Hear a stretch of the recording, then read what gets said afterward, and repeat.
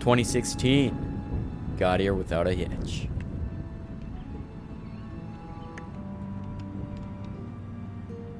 My name is Leo Flint. Yeah, I'm a time traveler.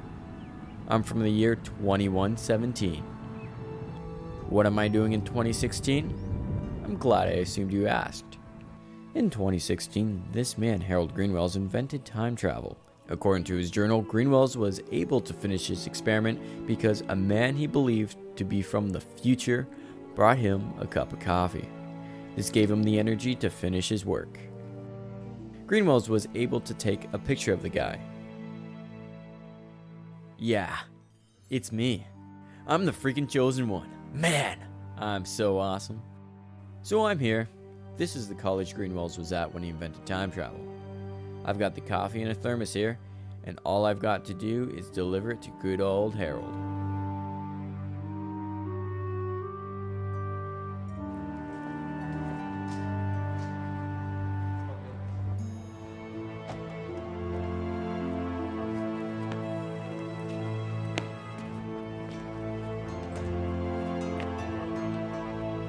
I have to get him the coffee before 5 o'clock.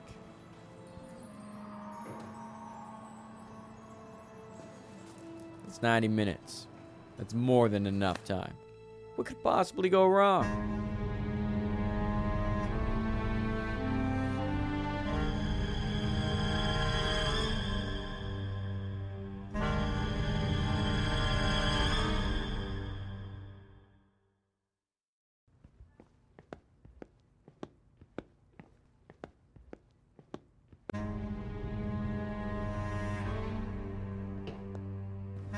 What's up, Leo? How you doing? That's Mason Kane. Consider him armed and a pain in the neck. Shut up, Mason. What do you want? I have been waiting for this for a very long time.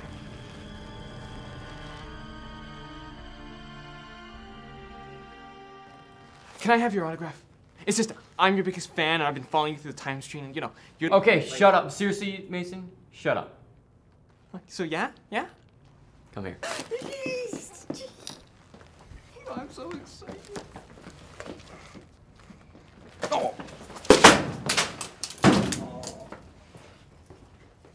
And neck pains can be fixed pretty easily.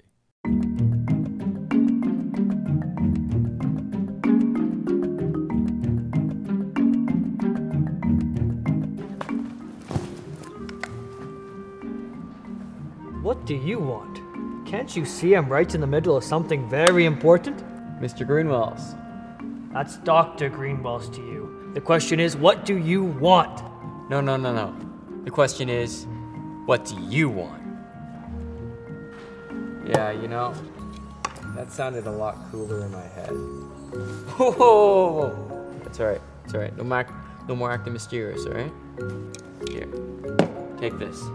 It's coffee. Think you're gonna need it. Hmm. Double double. How did you know I wanted coffee? Let's just say, I think what you what you're working on is gonna change the world someday. Thanks, friend. No problem.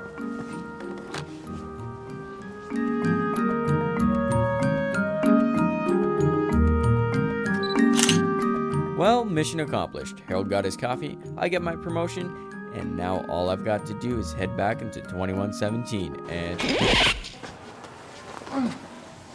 You're a jerk.